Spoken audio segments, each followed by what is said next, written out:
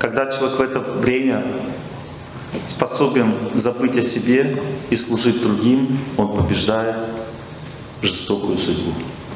Те люди, которые думают о справедливости, о себе, жалко себя становится, они ищут справедливости, вопят, кричат, требуют справедливости, обижаются, мучаются, страдают, ненавидят, злятся, пытаются преодолеть, ну как бы э, впадают в истерики. Все эти люди себя уничтожают.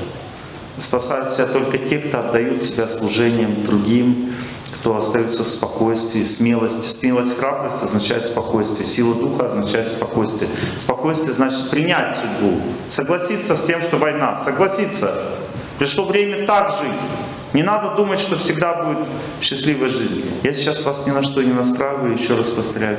Войны между Россией и Украиной не будет. Я просто мысль поймал это сейчас. Я говорю о состоянии сердца тех, у кого непреодолимый период. Может быть, у вас, у многих этого нет. Но я говорю сейчас для этих людей. И что вот делать в это вот для мужчины в частности? То есть у кого вот этот период, я поймал, вот другой мужчина тоже в этом состоянии находится уже много лет жизни. Ну то есть это война, понимаете, и воевать надо с собой. И воевать надо спокойно и радостно. И надо, война означает в данном случае стремиться быть здоровым и забыть про себя. Когда у человека непреодолимая судьба, и он очень сильно думает, почему мне так плохо, мне так тяжело, он разрушает свою жизнь в этот момент. Нужно забыть про себя, отдать свою жизнь другим людям, и тогда твой непреодолимый период будет преодолен.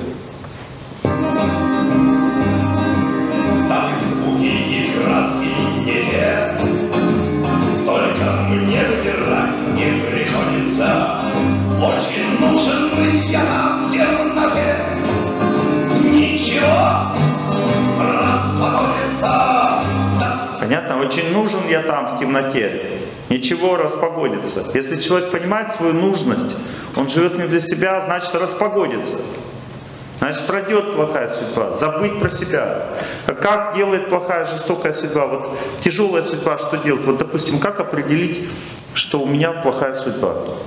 Вот, допустим, я вот думаю, думаю, допустим, о чем-то хорошем все время в жизни, допустим, э, нахожу что-то радостное в жизни, мне хорошо там. Вот это все означает хорошая судьба. Начинаешь много думать о себе, о своей жизни, означает тяжелая судьба.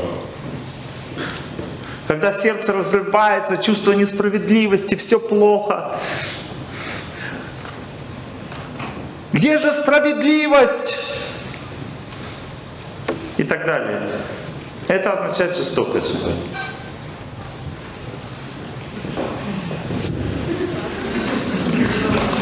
Это не означает жестокая судьба, означает милость. Все, милость пришла, видимо,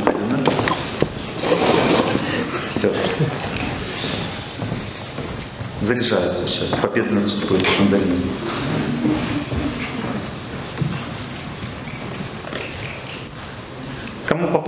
Мандаринка, и у вас хорошее что-то произошло после этого? Есть такие? О, лес рук.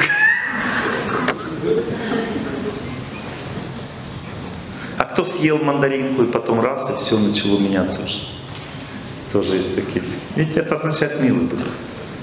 Когда дали цветы после лекции, это все, это такие символично очень. Это ну, не просто подарок, это энергия, которая дает победу Потому что когда люди думают о возвышенных вещах, о победе над судьбой, это все заряжается силой победы. Все эти цветы, конфетки, мандаринки, и потом человек ест, и он раз он получает эту силу в себя. А если после лекции подошла женщина, попросила помощи, и я там отдала мандарину, и ну, все, значит, для нее вы взяли. Эта женщина уже лучше стала сейчас. Мандаринка сработала.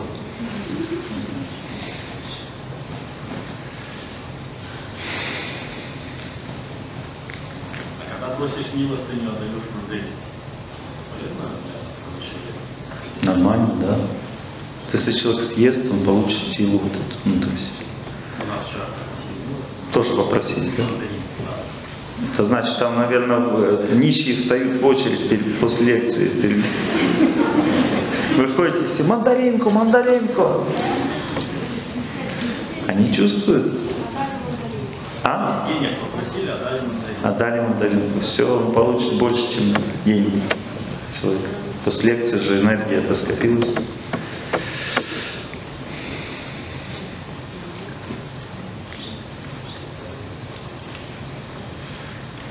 Итак, мы говорим с вами сегодня о победе над судьбой. Завтра у нас будет ретрит победы над судьбой. Мы будем прямо ее побеждать реально, преодолевать вот эту силу, культивировать в себе способность побеждать, сражаться будем, вот это настроение победы культивировать. Это надо уметь делать. Вот этому надо конкретно учиться, потому что всему, чему вы учились в школе, там, это вам не поможет. Трудный период все рушится. Там специальность тебя выгоняет с работы, ты учился тому, всему, ничего уже не понадобится. Все рушится в жизни. А вот когда ты умеешь побеждать судьбу, это как раз и в это время и понадобится. Это самое лучшее, что можно делать.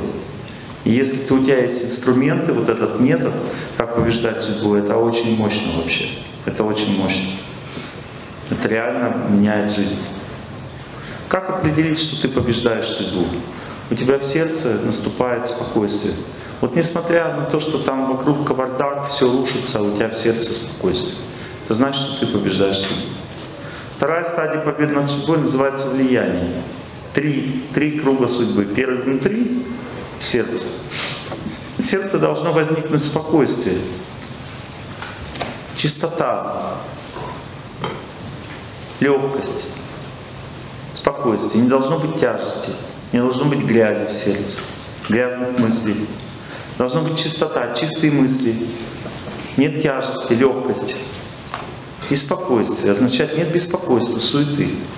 Спокойствие, чистота и легкость. Признак победы над судьбой. Потому что есть три энергии. Есть энергия суеты или волевая функция страдает у человека. Ее надо успокоить. Тогда э, у человека нет суеты, спокойствия. Есть грязь мыслей. Человек думает, думает, думает, плохие мысли лезут в голову, негатив. Чистота, спокойствие, чистота. Спокойствие, чистота и легкость. Такая легкость. Означает нет тяжести. Тяжесть такой. Тебя ничего не давит на тебя, не валится. Легкость, спокойствие, чистота. Три признака победы над судьбой в сердце. Это 33% победы над судьбой. Следующие 33% это между мной и тобой. Это этот мир, э, который на нас влияет. Это способность говорить с объектом страдания по-доброму. Это знание, что делать. Это тоже между мной и тобой находится знание, что делать. Вот, допустим, если человек болеет, то первая стадия у тебя спокойствие в сердце. Вот человек болеет близкий, понятно, там нужна скорая помощь, а если это хроническая болезнь, и врачи говорят, мы не знаем, что делать, тогда дальше первая стадия спокойствие в сердце. Вторая стадия влияние. Ты уже когда с ним разговариваешь, он тебя слышит. Он слышит, если ты знаешь, что делать, ты можешь ему передать это знание, потому что ты можешь говорить. На второй стадии, когда ты очистил вторую стадию, ты можешь передавать, можешь говорить. На второй стадии появляется знание. Например, ты знаешь, какому врачу отдать его, чтобы вылечить. Он еще не вылечился, но ты уже знаешь, что делать. У тебя есть инструкция на второй стадии. На второй стадии можно, э, допустим, муж ушел, э, первая стадия спокойствия в сердце, все будет хорошо. Что будет хорошо, еще ты не знаешь, потому что жестокая судьба никогда не дает ответа. До последнего момента не знаешь результата. Но ты знаешь, что все будет хорошо. А что конкретно не знаешь. Но все будет хорошо. На второй стадии идет влияние с женой, которой ты даже слышать ее имени не мог. Такую несправедливость она с тобой совершила. У тебя была семья, там был ребенок. И тут раз, все разрушено, вся жизнь разрушена. Несправедливость очень сильная. Вот. И ты можешь разговаривать с этой женщиной, спокойно можешь говорить на второй стадии. До этого также не мог даже с ней говорить, даже имя не мог произнести. На второй стадии ты можешь разговаривать спокойно. Это вторая стадия уже победы над судьбой. И знание есть, что делать, как себя вести на второй стадии. 66% победы над судьбой. И последние 33% называется чудо. Это когда человек, который в принципе не должен был а, возвращаться, возвращается. Или, допустим, тебе казалось, что тебе вообще ты никогда не встретишь никого, ты встречаешь. Происходит изменение жизни на третьей стадии победы над судьбой. И приходит вера в Бога, потому что когда человек один раз в жизни прошел все эти три круга победы над судьбой, к нему приходит чувство, как надо жить. Он уже знает, что ему всегда надо теперь это делать. Надо вот первый круг проходить, второй в молитве, третий, и все. И дальше будет победа. Ты преодолеваешь все препятствия, и дальше приходит победа, и у тебя вера в Бога крепнет. Ты уже знаешь, что просто память о Боге разрушает все препятствия, все проблемы. И ты как с этой памятью живешь, как со щитом. Он дает тебе силу. Также у человека, который привык побеждать судьбу, у него появляется правило внутреннего чувства. Вот, допустим, взять, допустим, людей, которые привыкли воевать. Но война вообще это что такое? Это, это как раз и есть э, непреодолимая судьба, это жестокость вокруг. И вот как выглядят люди, которые привыкли воевать? Они выглядят спокойно. То есть у них спокойное состояние. Понимаете? То есть они не суетятся, не паникуют, не злятся. Ну просто спокойно. Человек спокойно воюет. Понимаете, это признак того, что у человека все правильно там сложилось в сердце. Вот в этом состоянии, когда человек очень спокоен, это значит, что у него правильная мотивация внутри. Невозможно быть спокойным на фоне жестокости. Это значит, что-то внутри есть у человека, то, что мешает жестокости завладеть им. Какая-то у него есть сила внутри, которая это или молитва, или любовь. А в целом как бы это называется доброта. Понимаете, это доброта называется. Когда человек по-доброму настроен, это значит, что у него есть Бог в сердце или есть близкий человек, которого он а, любит. Ну то есть в целом, когда человек с добрым сердцем находится на фоне жестокой судьбы, он не ожесточается сердцем, не становится обиженным, отчаянным, жестоким, а, злым, депрессивным, несчастным, замученным, усталым, а у него в сердце спокойствие и по отношению ко всем доброта, но при этом твердость духа. Что значит твердость духа? Это значит, ты не позволяешь своему достоинству быть уничтоженным. Потому что что делает жестокая судьба с человеком? Она прежде всего и сразу рушит его достоинство. Она головая девчонка. Замуж никогда не выйдешь, ты хуже других. Жестокая судьба, говорю. Если ты согласилась с этим, то так и будет. А если ты достоинство сохраняешь, и жестокая судьба что делает? Она посылает мужиков, которые ни рыба, ни мясо. И он ходит вокруг тебя, и ходит, замуж не предлагает, и песни поет какие-то непонятные. То приехал, то уехал, то он есть, то его нет что хочет непонятно, а мне надо семья, надо дети. Я женщина, родилась для семьи, для детей, для любви. И тут эта вся песня уже три года длится, когда непонятно человек что-то думать будет башкой. Это называется жестокая судьба. И здесь самое главное — это достоинство. Вот всегда чувствуй себя достойным в этой ситуации, никогда не позволяй унизиться себе. Ты красивая, правильная, хорошая девушка. Ты божественная. Тебя Бог по своему образу, подобию создал для того, чтобы быть счастливой. Тебе Бог создал для счастья, не для чего другого. Но сейчас пока не положено. Вот, допустим, я на границе стою, и Бог меня создал для того, чтобы попасть в Киев. Но вот конкретно сейчас прямо не положено. И у меня непонятно, как бы, то ли ехать назад, э, и быстрее ехать, потому что там еще на Турцию как бы я успевал на рейс, то ли ждать опять, дальше сидеть, потому что, может быть, еще кто-то приедет. И я сижу и не знаю, что мне делать. У меня нет решения. И тут как бы летящей походкой. Ну, то есть подбегают ко мне мои помощники, они бегут такие радостные, я все, я понял, меня берут на какой-то транспорт. Ты вышла из рая! Вот, ну, как бы, милость существует в этом мире, ее никуда не деть, она есть. Если у тебя мотивы чисты, вот я еще раз повторяю, я что хотел-то в это время? Что я хотел? Чтобы в Киеве прошла лекция. Так? Для вас, да. И так как я хотел правильных вещей, Господь всегда помогает. Вот, вот это и произошло. Об этом я и говорю. Очень нужен я там в темноте. Ничего распогодится. Понимаете, если тяжелая судьба, отвлекись от себя. Не можешь отвлечься от себя, значит будет еще хуже.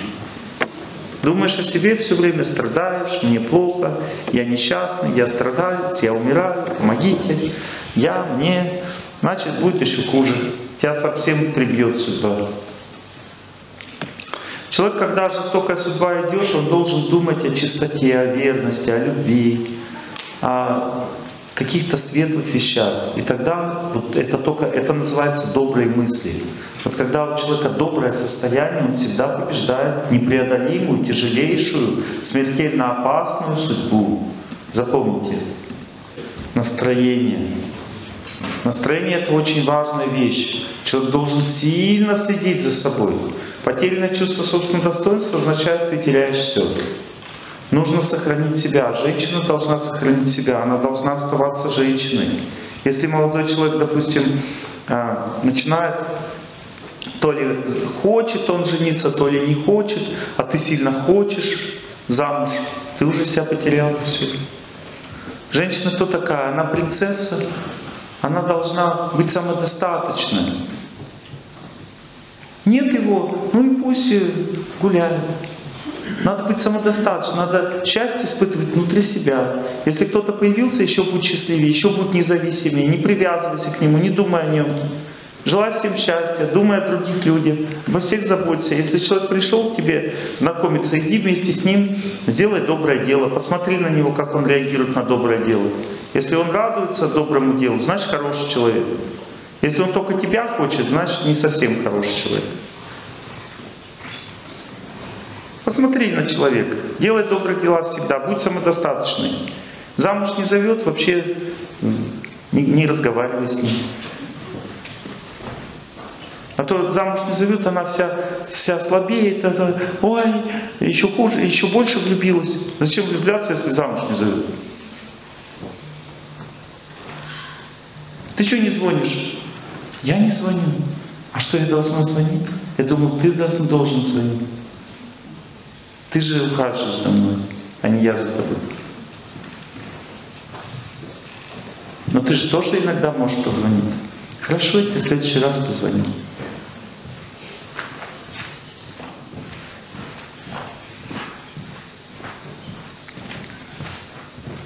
Самодостаточная, счастливая, жизнерадостная,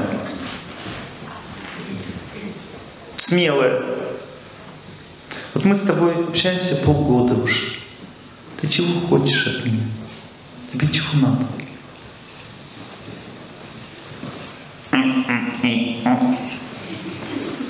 Посмотреть на него, что он скажет. Мне надо все понять. Ну, полгода непонятно. Что за полгода не понял? Не понял. Ну тогда, значит, вообще никогда не поймешь.